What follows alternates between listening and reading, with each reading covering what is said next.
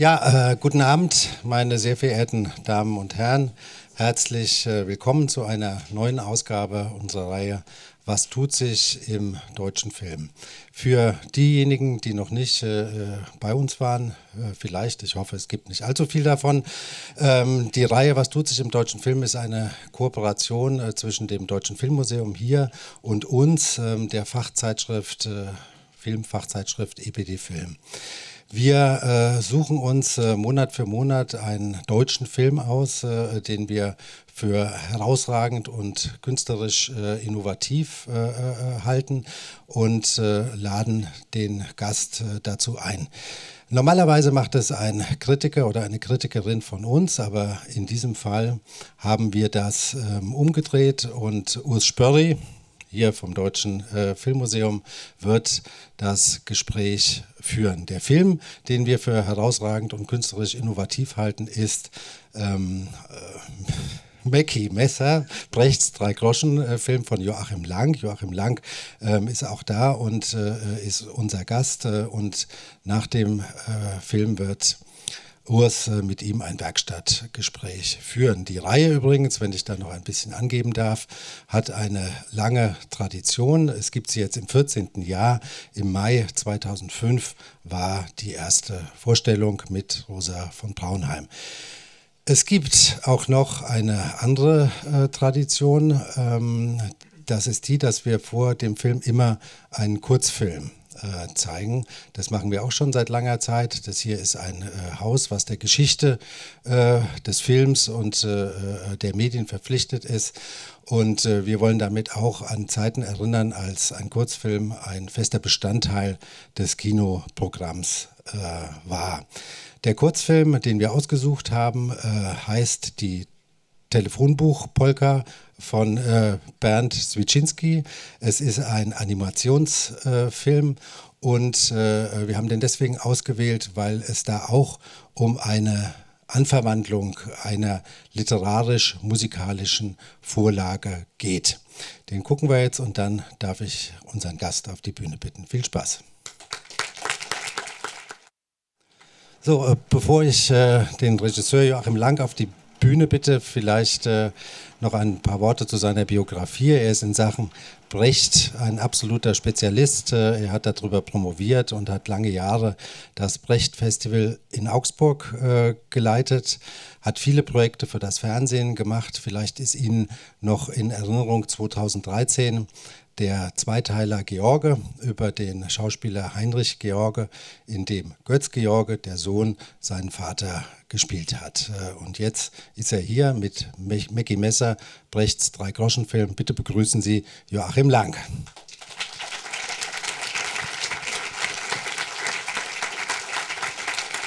Schön, dass Sie da sind. Besten Dank.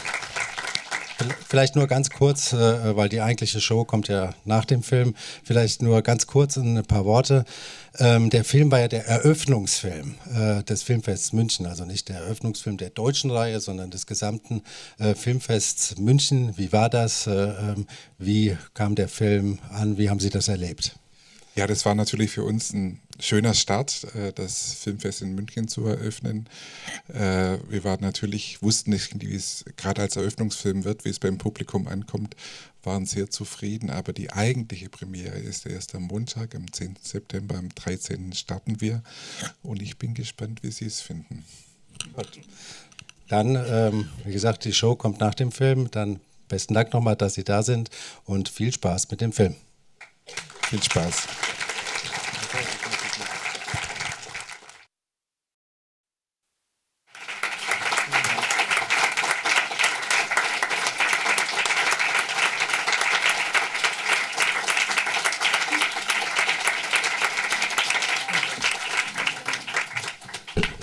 Ja, an dem Platz noch einmal willkommen von meiner Seite. Ähm, zunächst vielleicht noch die Information. Wir reden zuerst mal so eine halbe Stunde unter uns und dann haben Sie die Gelegenheit, auch Fragen zu stellen. Und ja, was für ein großartiges Mammutprojekt, was du da auf die Beine gestellt hast.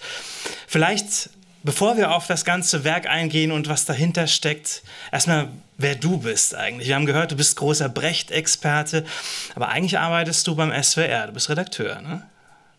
Ja, ich bin Ressortleiter für Sonderprojekte Musik und Theater, äh, habe arbeite im Theater, war acht Jahre lang Leiter des Brecht-Festivals in Augsburg, habe im Theater inszeniert und mache Filme. Das ist eigentlich mein Hauptberuf, Autor und Regisseur. Genau, und beim SWR hast du durchaus eine Vergangenheit, die auch vielleicht überraschen mag, wenn man denkt, großer Brecht-Experte. Du hast den Tigerentenclub erfunden. Ja? Magst du ja, uns dazu was sagen? Wie kam es denn dazu? Das ist äh, über 20 Jahre her und äh, vor kurzem hatte ich ein Erlebnis, als mein Sohn mit meinen Freunden da saß, der ist 29, dass er, was du alles, was dein Vater alles macht, aber das Wichtigste hast du verschwiegen. Er hat auch den Tiger im Club erfunden. Nein, das ist wie bei Tobias Moretti, vielleicht sein Kommissar Rex. Äh, damals hat mein Direktor äh, gemeint, äh, er braucht eine Nachfolgesendung für den Disney Club der zu RTL gegangen bin, hat gesagt, äh, Sie haben Kinder, jetzt machen Sie das, überlegen Sie sich was. Und dann habe ich den Janusz dazu gebracht und habe den Tiger im Club damals erfunden. Wahnsinn. Wir lieben den alle und äh, wir sind natürlich gespannt, wie du trotzdem dann jetzt zu Brecht übergegangen bist, weil du beschäftigst dich ja schon wirklich lange mit Bertolt Brecht. Weißt du noch einen Moment, wo du sagst, da hat es angefangen, diese Brecht-Leidenschaft? Nee, es waren die wilden 70er, die politisch interessierten 70er Jahre. Äh, als ich zu studieren begonnen habe, bin bin dann auch zum ersten Mal ins Archiv, äh, da, ins damalige Ostberlin. Über die Kriegsfibel habe ich meine Arbeit geschrieben, hat mich beschäftigt. Es war politische, ästhetische Motive, hat mich nicht mehr so ganz losgelassen, mal weniger. Äh, habe auch meine Dissertation über die Verfilmung vom epischen Theater geschrieben. Also wie kann man ein Theater, das per se sagt, äh, es ist was Gezeigtes, Vorgeführtes in eine Kunstform übertragen, die auf der Abbildung der Wirklichkeit äh, basiert. Äh, und habe dann auch einen Dokumentarfilm gemacht und habe dann eigentlich schon ein bisschen abgeschlossen gehabt. Und dann haben die mich in, aus Augsburg gefragt, ob ich das Brecht-Festival leiten möchte oder neu entwickeln möchte. Äh, da konnte ich natürlich auch auf dem Theater oder auch im Berliner Ensemble auch Texte ausprobieren, mit Texten arbeiten, die, glaube ich, auch dann gut waren als Grundlage für den Film. Mhm. Äh, abgesehen davon kam ich nicht nur mit Schauspielern, auch mit den Erben enger in Kontakt. Ich habe dieses Konzept, äh, die Drei-Groschen-Oper zu verfilmen, verfolge ich eigentlich schon so seit 15 Jahren. Für mich wäre es nicht interessant gewesen, einfach die Drei-Groschen-Oper äh, nur zu zeigen, einen Kostümfilm draus zu machen, sondern ich habe schon früh äh, entdeckt, äh, dass es ein kaum beachtetes Exposé von Brecht gibt. Mit dem Namen Die Beule, sind ein paar Seiten, äh, eine Filmversion äh, der Drei-Groschen-Oper mit kaum Dialogen drin, aber so erste Skizzen. Da ist einiges in meinem Film drin. Die Übernahme der Bank, die in der Oper ja nur angedeutet ist, wird ja da vollzogen. Die werden Banker. Brecht selber konnte den Film selber nie realisieren, weil er 33 ins Exil flüchten musste, hat dann im äh, Exil noch den Drei-Groschen-Roman geschrieben in 400 starken Zeiten Roman, aus dem nehme ich auch einige Dialoge, sodass ich den ganzen Drei-Groschen-Komplex als Vorlage hatte. Mit der äh, Idee bin ich dann vor 15 Jahren schon mal mhm. zu den Erben gegangen, zu den Brecht-Erben, äh, die ich kannte. Äh, sie konnten sich damals noch nicht so richtig vorstellen. Die Barbara Brechtschal ist natürlich, man muss es auch sehen, die Erben, es ist das Hauptstück, was mhm. die weltweite Wirkung äh, betrifft und habe dann ein paar Jahre gebraucht.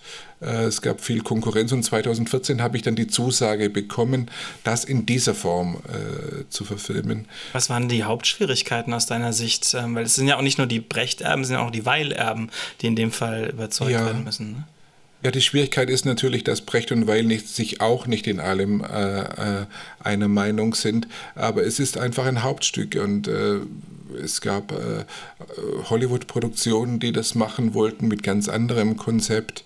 Es gab sogar mal den Plan, einen Trick zu machen äh, äh, und ich bin dran geblieben und habe eben es gewissenhaft weiter betrieben und habe dann den Zuschlag bekommen von der Tochter von Brecht, von Barbara Brecht-Schall.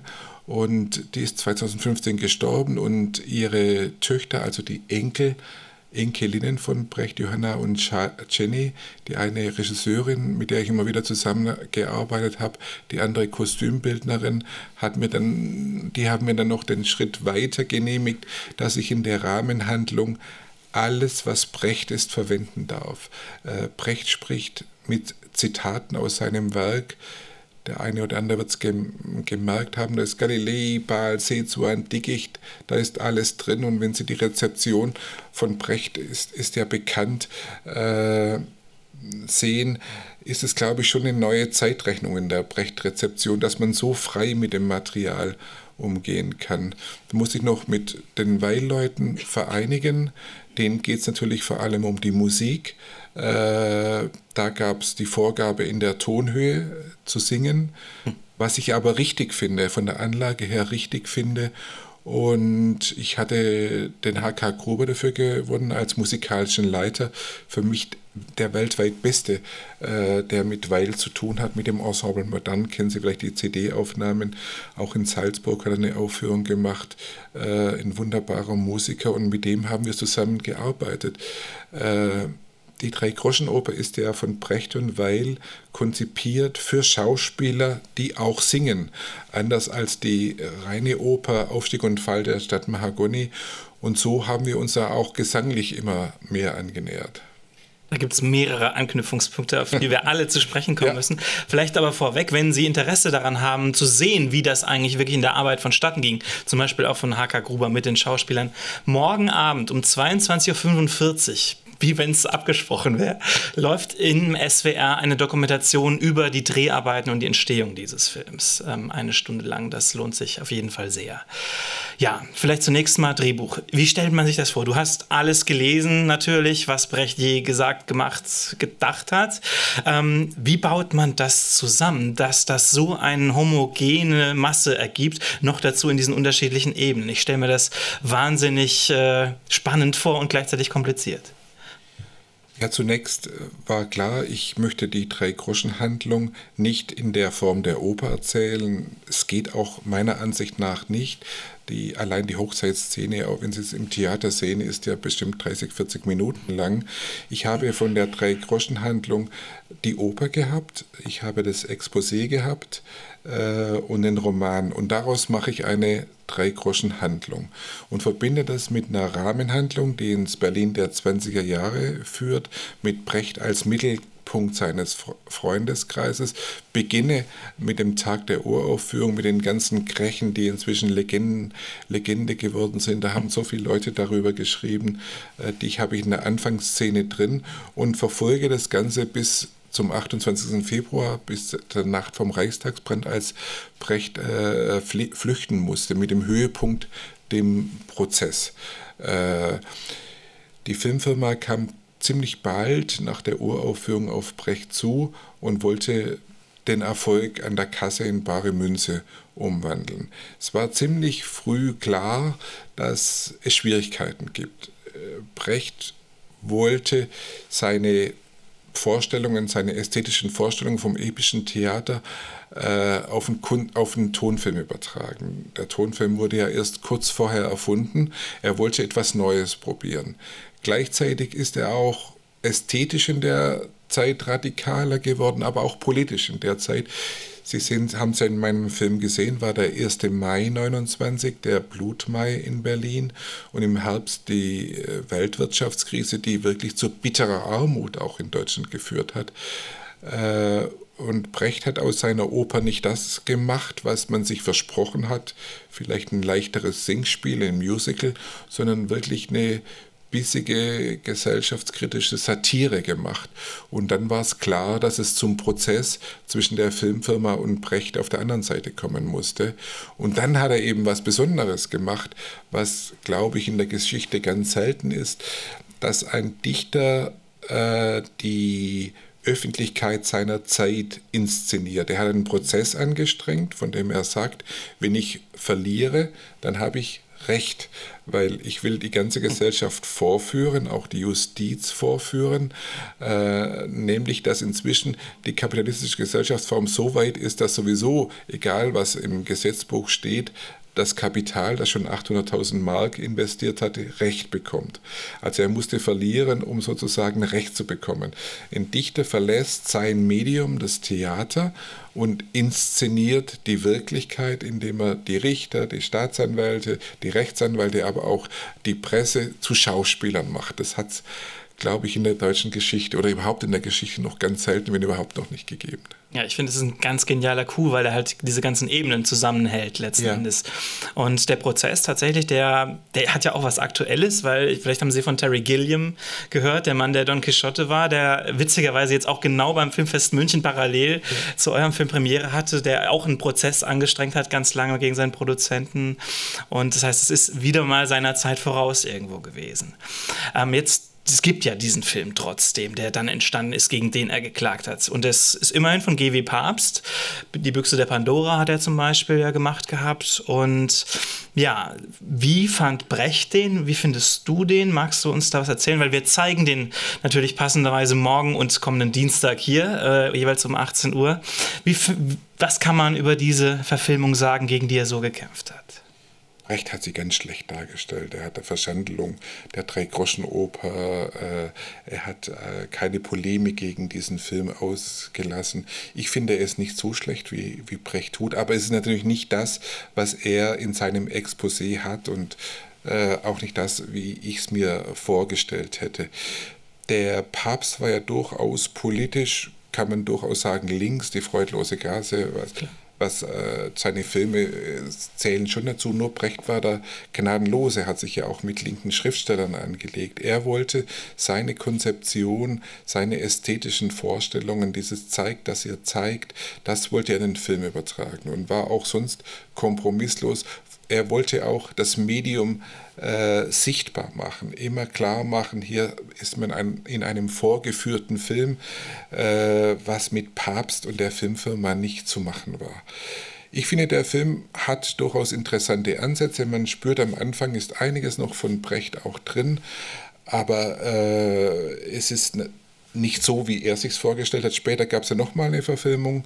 Wir sind also die dritte von Staute mit äh, allen möglichen Kurt Jürgens, Gerd Fröbe, Hildegard Knef, ja, Sammy Davis Jr. und so weiter nicht richtig, auch nicht richtig gut angekommen. 63 auch mehr eine Verfilmung vom Bühnenstück. Brecht hat selber ja gesagt, wenn man Theater in den Film übertragen will, darf man es keineswegs so lassen. Es wäre Unfug, es wenig verändert zu verfilmen. Man muss es äh, dem Medium anpassen und deswegen auch die Fabel ändern, um den Gehalt äh, beizubehalten.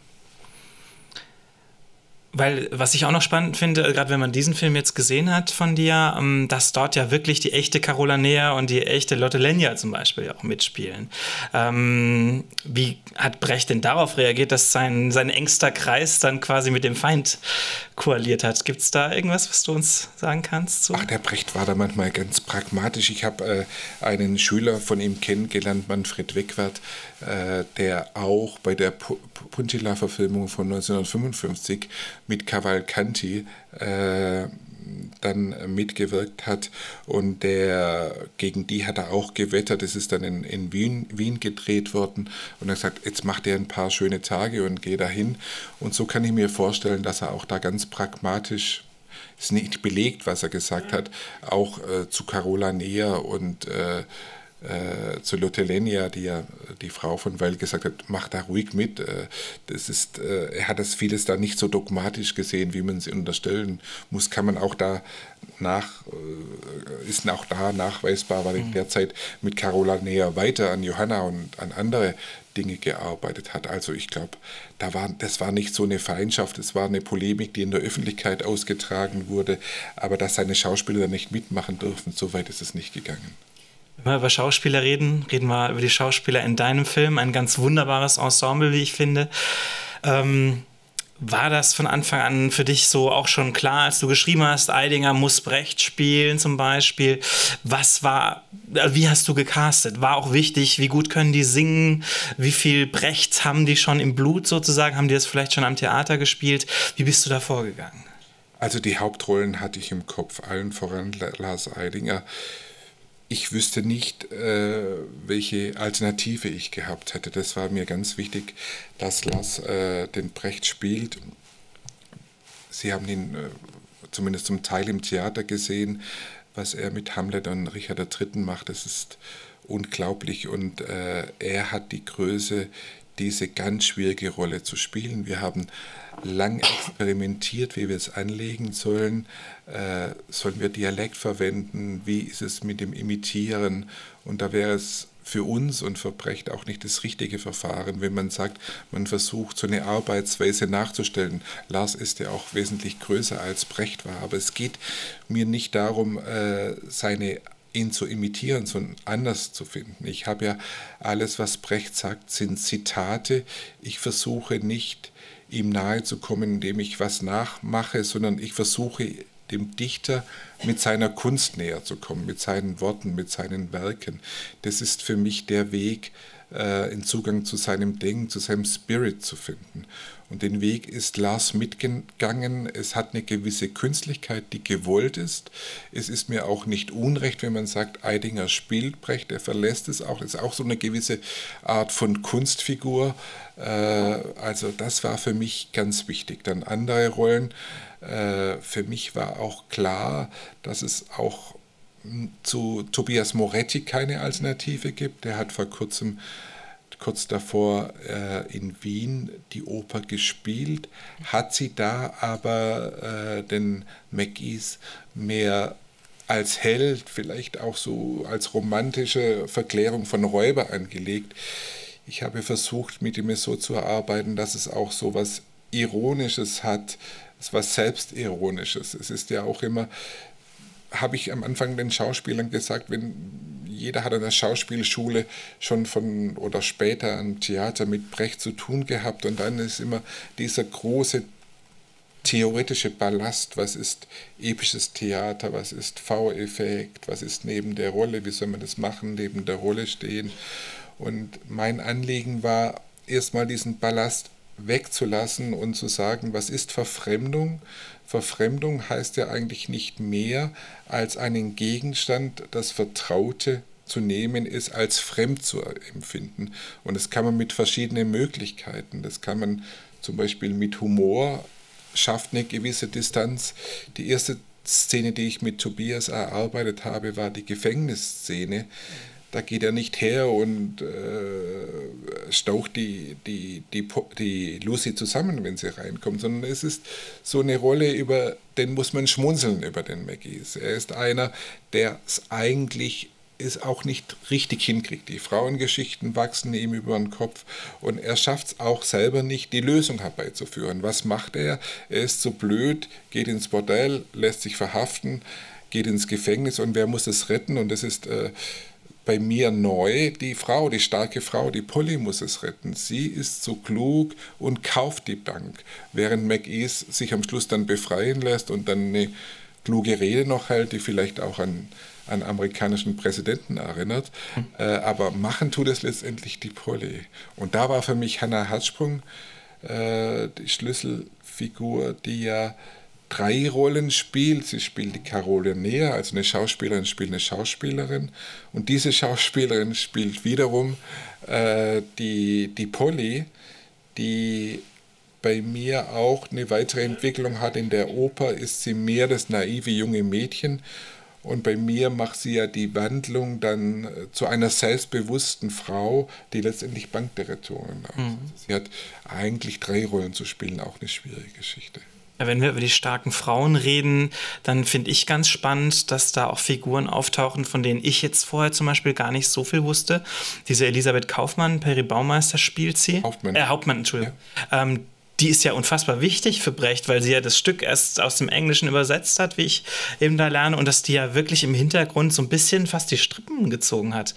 Ähm, wie hast du diese Figur zum Beispiel erarbeitet? War dir von Anfang an klar, dass die so eine wichtige Rolle dann auch spielen muss und dass das vielleicht auch nochmal was ist, das Brecht-Universum heute nochmal anders zu erklären, als man es vielleicht so überliefert bekommen hat? Elisabeth Hauptmann hat eine ungeheuer wichtige Funktion für ihn. Sie hat sich vielleicht selber, es gibt einen Film über sie, der heißt Die Mitarbeiterin, so hat sie hat sich gesehen, vielleicht auch so, aber sie hat viel mehr, wie überhaupt die Frauen, viel mehr mitgewirkt, als es normalerweise gesehen wird. Sie hat sein, sein ganzes Leben, äh, sein berufliches Leben geordnet. Sie hat ihn auf die Drei-Groschen-Oper gebracht, auf die Beggars Opera von John Gay. Äh, sie hat es übersetzt. Brecht konnte damals überhaupt nicht Englisch und sie hat ihn darauf hingewiesen. Äh, später war das Margarete Steffin, die er kennengelernt hat und im Privatleben aber auch zum Teil im künstlerischen Leben war das Helene Weigel, die spätere Intendantin des Berliner Ensembles. Ohne die Helene Weigel wäre das nichts geworden. Als Brecht nach, nach, von Augsburg nach Berlin gekommen ist, war er nach kurzer Zeit in der Charité, er hat zu viel getrunken, es war sehr chaotisch. Helene Weigel hat sein Leben überhaupt geordnet und äh, letztendlich bis zum Schluss, als er von den USA in der Schweiz nach in die DDR kam, hat, war sie Intendantin mhm. des Berliner Ensembles, nicht Brecht. Er war der wichtigste äh, künstlerische Mitarbeiter, aber organisiert hat sie sein Leben und sein Theater. Wir haben ja beim Filmfest München auch schon so ein Gespräch geführt wie jetzt hier und da saßen dann fünf deiner Darsteller eben auch mit auf der Bühne, unter anderem auch Robert Stadelober. Ähm, und der hat einen ganz spannenden Satz gesagt, wie ich finde, ist mir zumindest in Erinnerung geblieben. Er hat gesagt, ich spiele diesen Kurt Weil und da ist eine Riesenverantwortung dahinter, weil niemand hat ein Bild von Kurt Weil im Kopf und ab jetzt bin ich das Bild von Kurt Weil. Und ich finde, da steckt schon sehr, sehr viel drin. Hast du diese Verantwortung auch gespürt? Und mh, mm, wie historisch korrekt muss das dann sein, damit man da nicht in irgendwelche Fettnäpfchen tritt? Ja, das ist einmal natürlich auch vom Publikum Verantwortung, aber natürlich auch vor den Figuren die Verantwortung. Wir haben jede Figur im Detail erarbeitet. Äh, ich kenne jedes Wort. Es gibt lange Interviews mit Elisabeth Hauptmann. Es gibt wahnsinnig viel Briefe. Äh, es gibt auch neue Veröffentlichungen, Briefe zwischen Lotte Lenia und Kurt Weil. Da ist es schon ganz wichtig, die Verantwortung zu haben, dass es gerecht dargestellt wird. Äh, man spürt vielleicht in dem Film, hoffe ich, dass wie die Zusammenarbeit zwischen den Frauen war, auch in der kurzen Zeit äh, zumindest angedeutet und auch zwischen Weil und Brecht war. Es war eine einzigartige Zusammenarbeit, wie es, glaube ich, in der deutschen Geschichte selten gibt zwischen einem Komponisten und zwischen einem Dichter. Äh, es war ja was vor, vor der Geschichte von meinem Film ist, dass Aufrecht dieses Theater aufmachen wollte und wenig Zeit war. Und Brecht hat ein bisschen geblufft und hat schon getan, als ob er mit der Dreigroschenoper weiter ist, wie er tatsächlich war.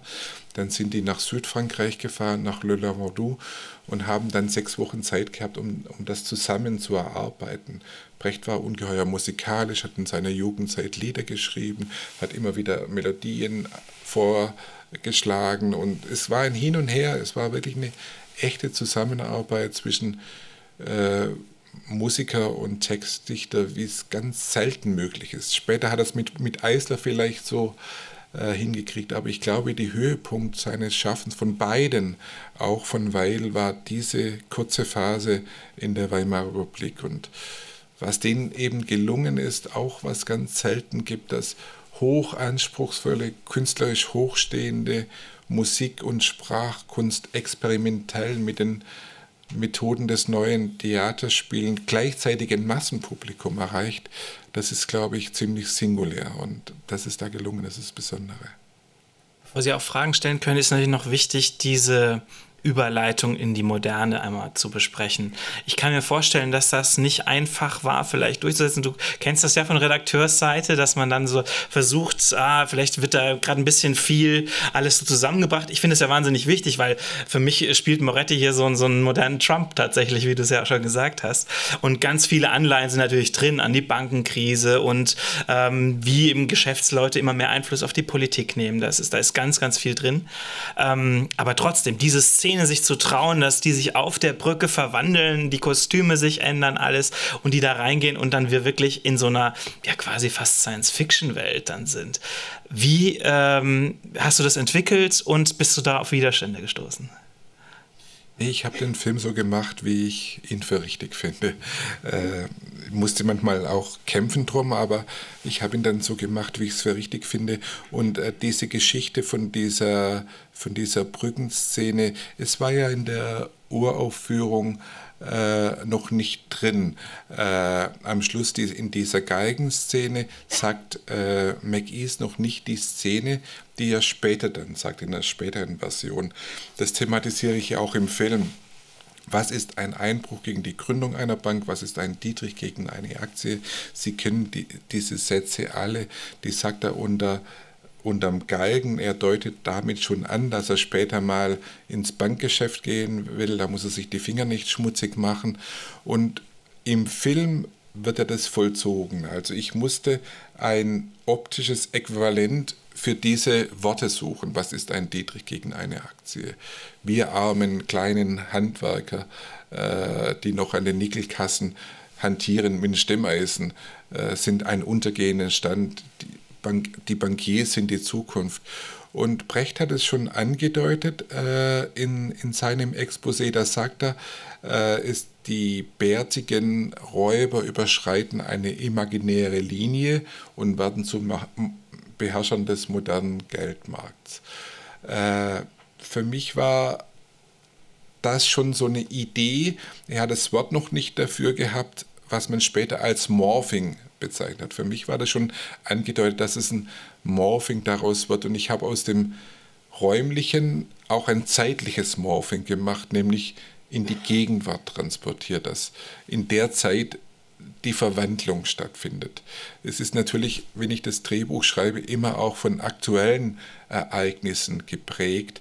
Die andere Szene auf einer anderen Brücke ist, wenn die Bettler in die Stadt dringen als ich das Drehbuch geschrieben habe, äh, sind tatsächlich, habe ich in der Tagesschau die Bilder gesehen, als die Flüchtlinge von Ungarn, Österreich nach Deutschland kommen. Damals waren es ja noch viele, jetzt gibt es ja nur noch wenige. Man tut immer so, als ob es so viele sind, aber es sind ja jetzt wenige. Und damals sind so viele gekommen und diese Züge habe ich im Kopf gehabt beim Drehbuch schreiben, weil um das geht es mir natürlich auch politisch um den Film.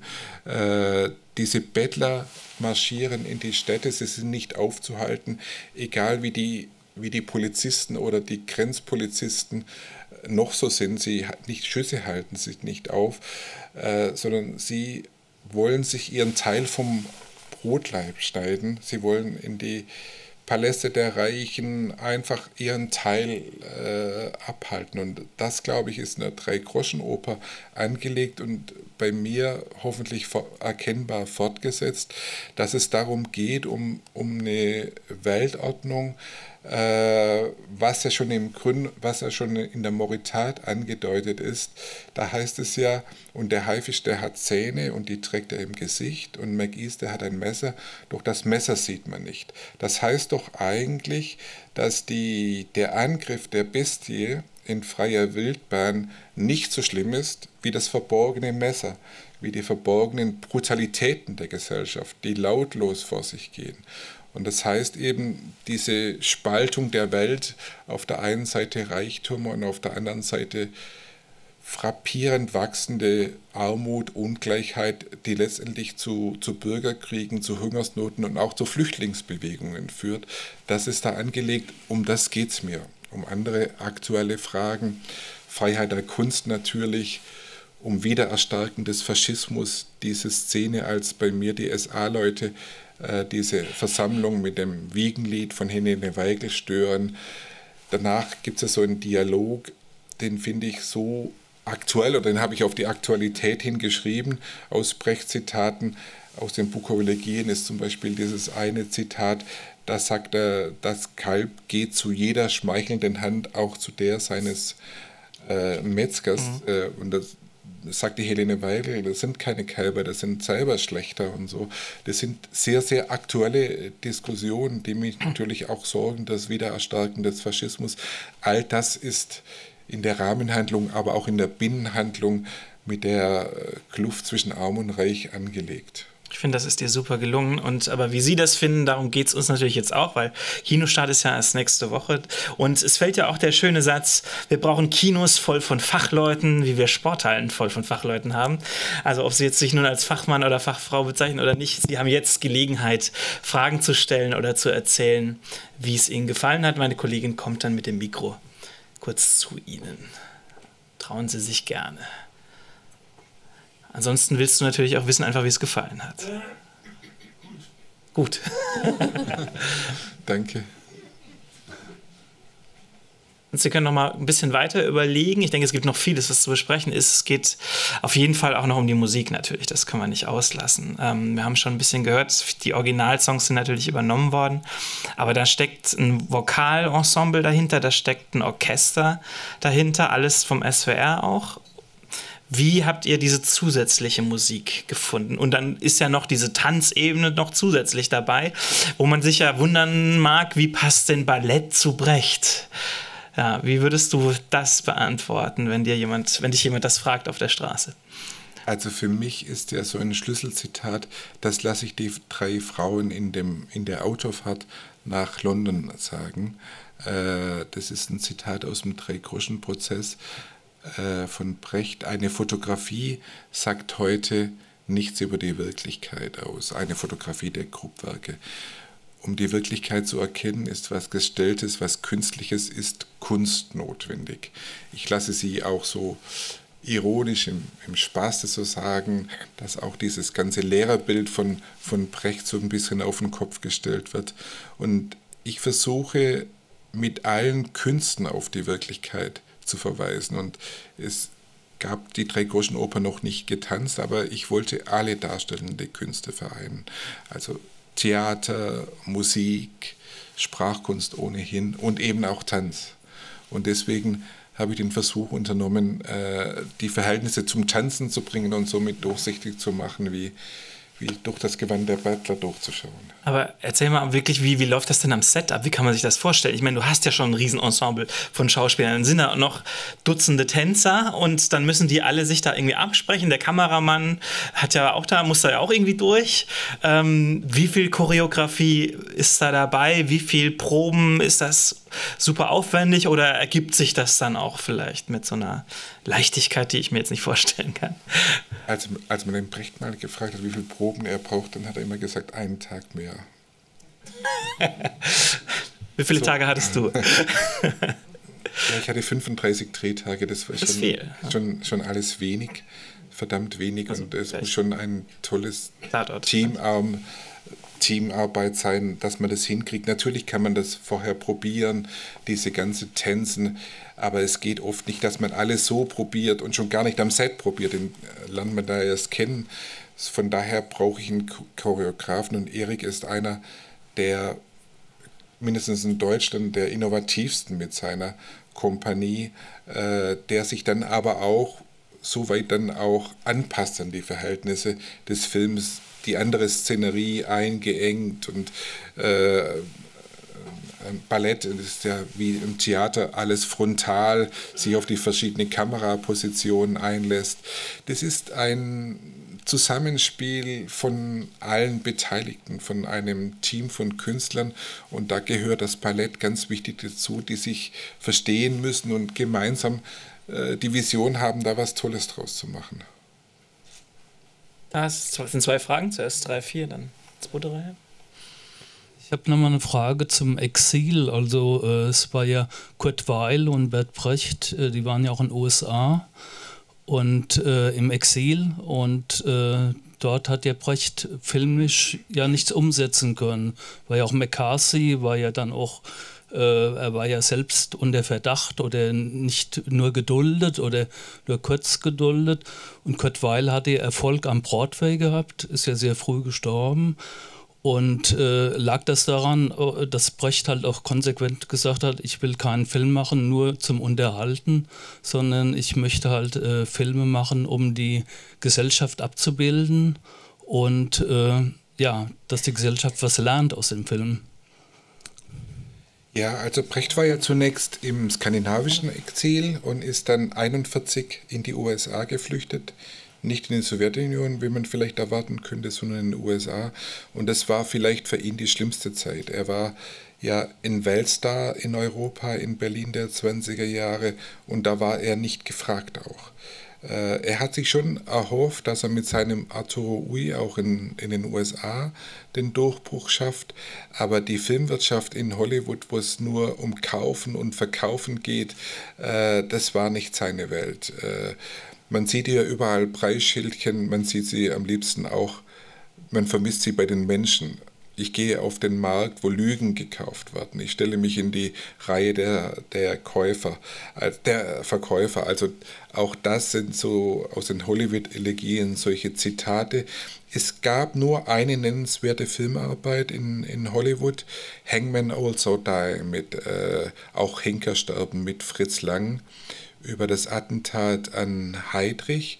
Da hat Brecht mitgearbeitet, aber die Arbeit hat ihn krank gemacht. Also die Zitate, die ich hier unterlege dem Brecht als die Zusammensetzung über die Filmarbeit, die resignative Phase, da habe ich einiges aus dieser Zeit genommen. Es war nicht seine Welt, einfach auf künstliche Spannungen zu gehen und deswegen hat er in Hollywood nichts Nennenswertes hingekriegt in der Zeit weil anders, weil war auch politisch-ästhetisch nicht so, äh, so wie Brecht. Trotzdem glaube ich, dass die 20er Jahre äh, seine große Zeit waren und seine großen äh, Lieder, seine großen Songs knüpfen an, an diese 20er Jahre an. Also eins der bekanntesten ist der September Songs, kennen Sie alle. Wenn Sie äh, hier Sorabaya Johnny hören äh, bei mir im Film, dann wissen Sie, woher er seine Wurzeln hat. Das waren doch für beide diese wilden Zwanziger, glaube ich, die stärkste Zeit. Ähm, hallo. Äh, großartiger Film, vielen Dank. Ähm, besonders, also neben dem Film als solchen, finde ich, war das Kostümbild und die Ausstattung fantastisch. Und äh, meine Frage, hatten Sie da solche Motive, solche Kostüme schon, als Sie das Buch geschrieben haben, vor Augen oder wie wurden Sie da von Ihren Szenenbildner oder Kostümbildner unterstützt? Ja, es war für mein Konzept war es sowohl beim Kostüm äh, als auch bei, bei der Szenerie Anklänge an die Gegenwart zu nehmen. Es sind, es sind nie naturalistische Kostüme, kein naturalistisches Szenenbild. Es sollte auch was Künstliches sein. Der erste deutliche Hinweis bekommt man, wenn man nach London, wenn die nach London fahren, wenn Sie genau geguckt haben, da habe ich am Rand das Schad und äh, The Gherkin eingebaut, was natürlich logischerweise damals nicht gegeben hat. Also es soll nicht die Zeit um 1900 nachstellen, sondern es soll Anklänge an die Gegenwart haben. Und da haben wir uns so Entwürfe genommen, 20er Jahre angeschaut, das viktorianische Zeitalter angeschaut und haben überlegt, wie das sein könnte. Überraschend, wie wild die 20er auch in ihrer Nacktheit da teilweise waren. Und äh, wenn Sie die Gang anschauen zum Beispiel, äh, da hatte der eine, das ist so ein bisschen Gossip, so ein bisschen Punk, dass die auch so Popstars waren und so. Das sind immer so Anklänge an die Gegenwart und Ideen entstehen dann oft beim Machen. Äh, diese Pigeon-Szenerie, die ist ganz zufällig entstanden. Mir war klar, es muss groß sein und so, aber erst wollten wir in NRW drehen und da haben wir äh, als Location mal so eine Waschkaue äh, ich, ich komme nicht aus NRW, ich wusste gar nicht davor, was eine Waschkaue ist. Ich weiß es auch nicht, was. Es sind äh, so große äh, Hallen, wo die Bergleute sich umziehen. Ja. Also die ziehen sich in einem Stockwerk um, hängen ihre Kleider hoch und äh, abends das Gegenteil. Und die hängen dann tagsüber hoch und dann werden sie tagsüber gewaschen und so. Es gibt eine weiße und eine schwarzkaue und das ist so eine ganz bizarre Geschichte. Und da mhm. wollte ich erst drehen, weil mich das so interessiert hat. Und da bin ich dann auf die Idee gekommen, dass wir dieses, ähnlich diese Kleidungsstücke, die hatte ich von Salzburg, da auch aufhängen. So entsteht manchmal auch durch Umwege was, durch eine Zusammenarbeit. Und äh, man muss manchmal auch ein Auge dafür haben, manchmal auch aus einer Notlage, dieses Polizeipräsidium ist einem gar nicht gebaut. Das ist die Aula der Uni von Gent, aber uns waren die Bilder, für uns waren die Bilder so interessant mit diesen Treppen und wie das ist, dass äh, in diesen fantastischen Bildern ganz einfach dieser Schreibtisch da reingestellt das Büro ist. Und dann habe ich noch vier, zweimal vier für diese Stempler davor gesetzt und das war dann das Büro von Tiger Brown. Manchmal entsteht was durch die Reduktion. Und, äh, dieses Radiointerview, da haben wir auch nicht einfach ein, ein Rundfunkstudio nachgebaut, sondern haben gesagt, wir machen einfach nur das Mikro und alles andere ist schwarz äh, und machen alles, lösen durch eine 360 Grad mit konsequente Aktsprünge auf, auch um da gegen die Regeln zu verstoßen. Und so entstehen manchmal Dinge immer durch ja, noch eine gute kreative Zusammenarbeit. Und so war es sowohl beim Kostüm als auch beim, äh, bei der Szenenbild. Also auch in dem Fall kann ich tatsächlich morgen die Doku empfehlen, die danach in der Mediathek ist. Da wird nochmal auch mit den Kostümbildnern und den Ausstattern gesprochen. Und man sieht auch das Schloss, in dem dann zum Beispiel die Hochzeitsszene gedreht wird und wie das alles dann so aufbereitet wird. Also wirklich sehr, sehr empfehlenswert. Aber die nächste Frage ist auch schon da. Ja, hallo. Ähm, auch nochmal vielen Dank von mir. Ich, ich fand tatsächlich auch die Bezüge zur Gegenwart sehr gut und zum Teil auch sehr skurril natürlich, weil sie so stark wurden. Ähm, ich habe mich während dem Film nur gefragt, wie hätte Brecht sich wohl selbst gerne gesehen? Und ähm, zum Teil fand ich, dass er dann doch so sehr heldenhaft wurde. Also selbst in der Autoszene, wo die Frauen dann so wie das Diktierte nochmal so nacherzählen, ist es dann dennoch so feierlich, weil sie eben den Brecht sprechen. Und ich habe mich gefragt, ob er sich denn hätte so sehr als Held sehen wollen. Können Sie dazu vielleicht was sagen? Also ich wollte ihn nicht als Held zeigen. Ich wollte ihn teilweise auch ein bisschen als Besserwisser und überheblich zeigen. Bisher war eher so den Eindruck, am Freitag habe ich zum Beispiel mit Stefan Aus, der hat gesagt, äh, ihm hat der Film gefallen, weil der Brecht gar nicht so sympathisch ist. Ich sehe, ich sehe den Brecht so als Mittelpunkt eines Freundeskreises. Also er war sich bewusst, was er kann. Äh, manchmal ein Hauch von Überheblichkeit, aber er hat auch was auf dem Kasten gehabt. So ist mein Bild von ihm, der auch so sich selber stilisiert. Deswegen auch habe ich reduziert auf wenige Kleidung und wenn dann diese enge lederne kurze äh, Jacke und dann der Mantel, der übrigens der Originalmantel ist, der viel zu groß ist und so. Äh, also auch so eine Stilisierung. Wie kriegt man denn den? Ich glaube, der, der war in Augsburg, da haben sich die auch schon äh, die, die Stadtleute, da, die Promis in der Stadt schon fotografieren lassen, Komm. haben uns ausgeliehen. ich glaube, dass, dass der Brecht äh, einer der ersten oder einer der frühen Stifter war, der auch in den 20er Jahren bewusst so eine Marke Brecht geschaffen hat. Äh, er wollte manchmal, hat er gezielt provoziert, äh, er ist, hat überlegt, um Karriere zu machen, äh, das Karriere meine ich gar nicht negativ, aber um, um seine Kunst so in den Mittelpunkt zu stellen, ich suche mal einen Freund, das war Leon Feuchtwanger, der war links, das passt irgendwie, zudem ist er nach München gegangen und ich suche mal auch einen Gegner. Und da kann er sich keinen größeren in der Zeit raussuchen als Thomas Mann. Den hat er durchaus auch provoziert, da hat er im Uho mal geschrieben. Thomas Mann war naiv genug, um darauf reinzufallen und damit eigentlich Brecht eine Plattform gegeben.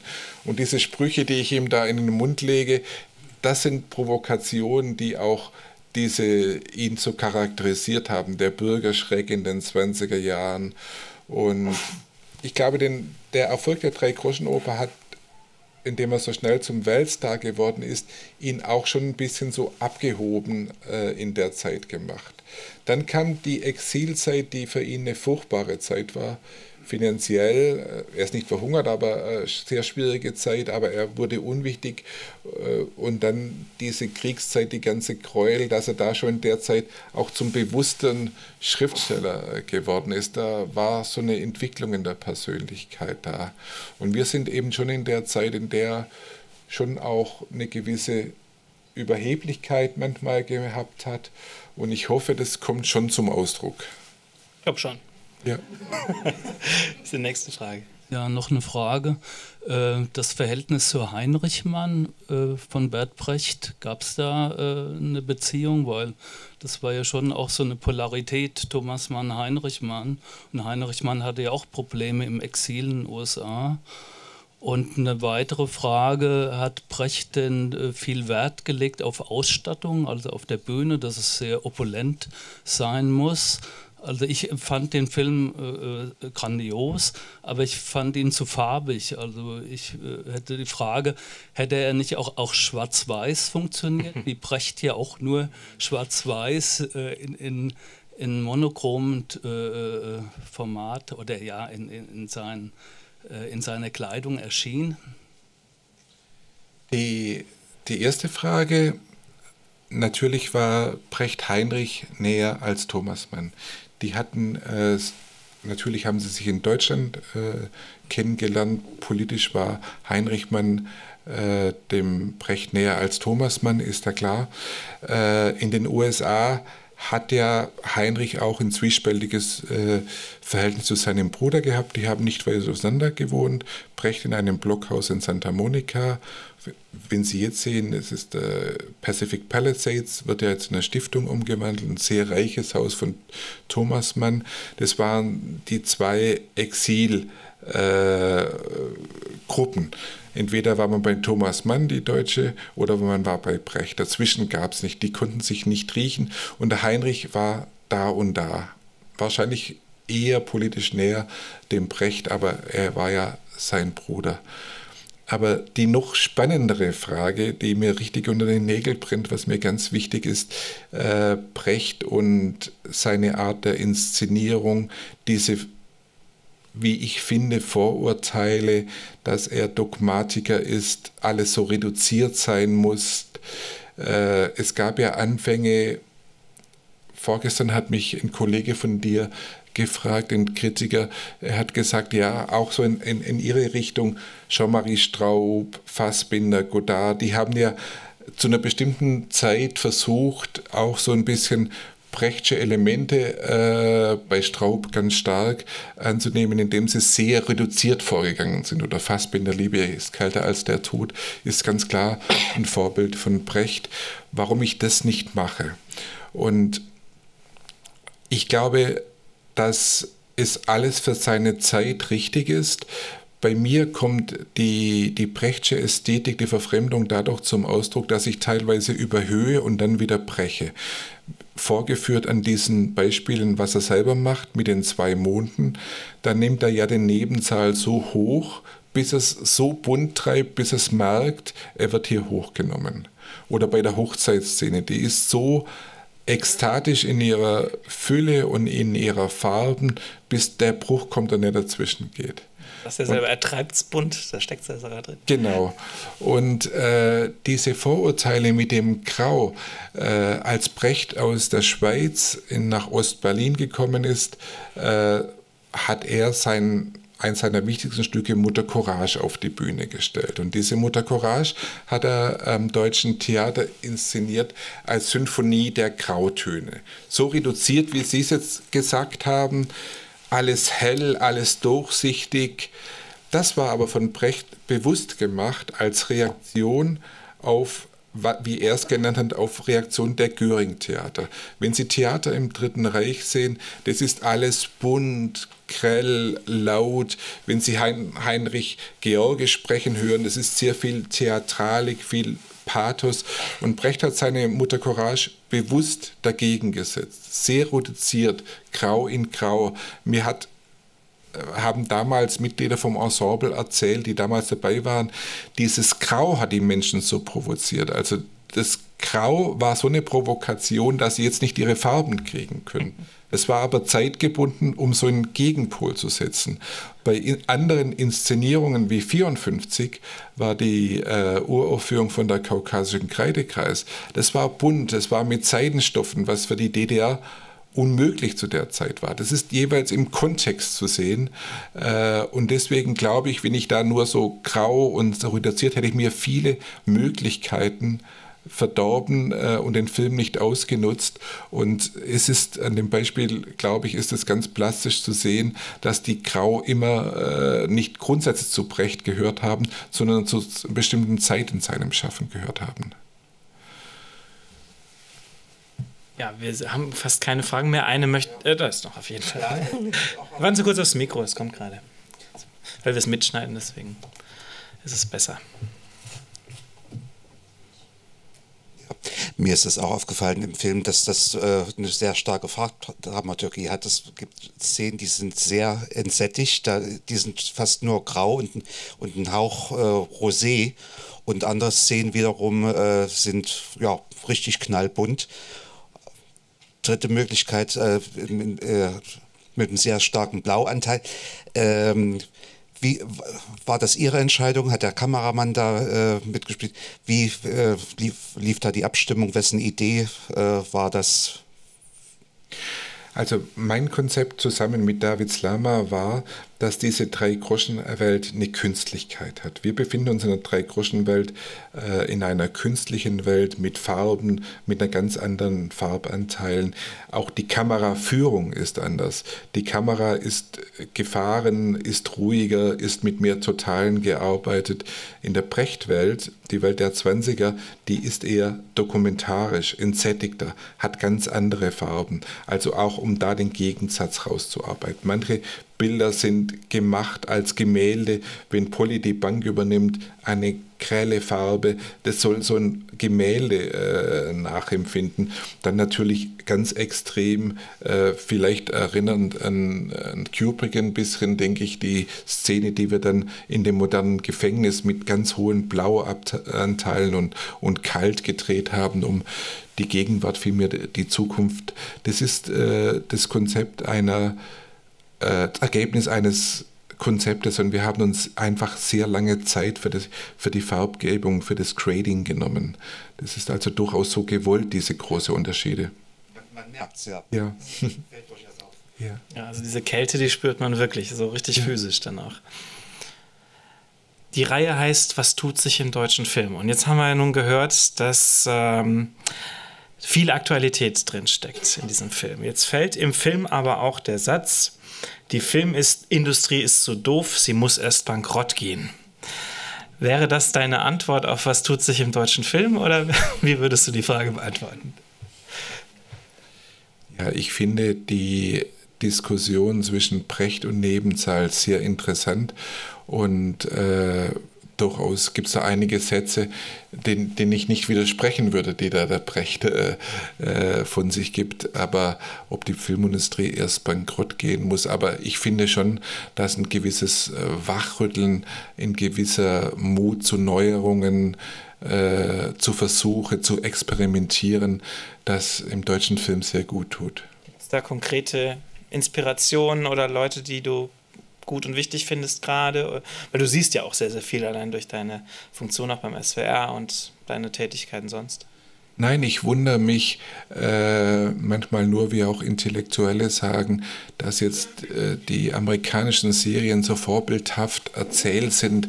Das sind Erzählformen, die es in der Literatur im 19. Jahrhundert gibt. Und wenn ich dann höre, dass es toll ist, dass Kevin Spacey äh, bei äh, House of Cards am Anfang, wenn er der Katze das Genick bricht, in die Kamera schaut, wie toll ja, ja, wie toll das ist. Das sind Experimente, die in den 20er Jahren und, und auch da gemacht wurde. Und man kann, man, kann es, man kann es machen, aber man braucht es nicht jetzt so innovativ und neu finden. Wir haben in der Geschichte, in der Kunst so viele Experimente und ich glaube, man kann sich auf das besinnen und äh, kann daran anknüpfen, nicht um es nachzuahmen, sondern was Neues draus zu entwickeln, finde ich ganz wichtig. Das ist dir super gelungen. Und äh, ja, bevor wir dich verabschieden, möchte ich direkt noch darauf hinweisen, wie es weitergeht mit dieser Reihe, denn wir haben ganz tolle Gäste auch im nächsten Monat. Wim Wenders hat sein Kommen zugesagt am 3. Oktober. Unbedingt vormerken. Er wird ähm, eine Carte Blanche bekommen, einen Monat lang seine wichtigsten, die Filme, die ihn am meisten geprägt und beeinflusst haben, zeigen und Papst Franziskus, die neue Doku.